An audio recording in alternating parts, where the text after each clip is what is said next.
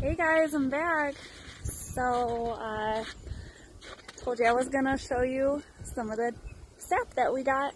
Um, this particular tree is a walnut. Um, we're gonna try to do some black walnut syrup. A little different, but I think it's gonna be awesome.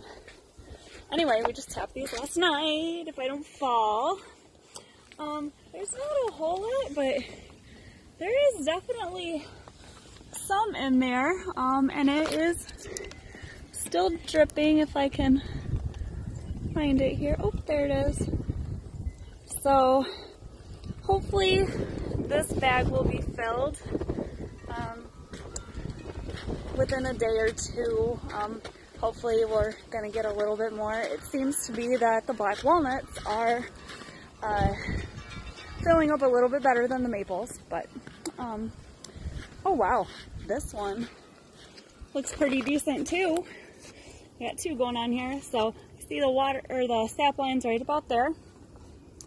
Um, this one's looking okay as well, so we'll see. It's looking pretty promising.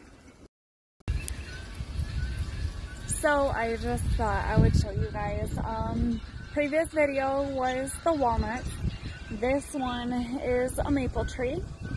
Um, this one's not doing so well right now. It is a, it's a pretty big tree here. Um, there's only just a little bit here. This one's got a little bit more, but definitely not quite as much as the black walnut.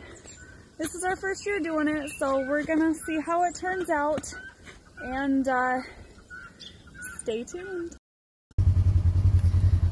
Well, so far, um, we have tapped about five maple trees.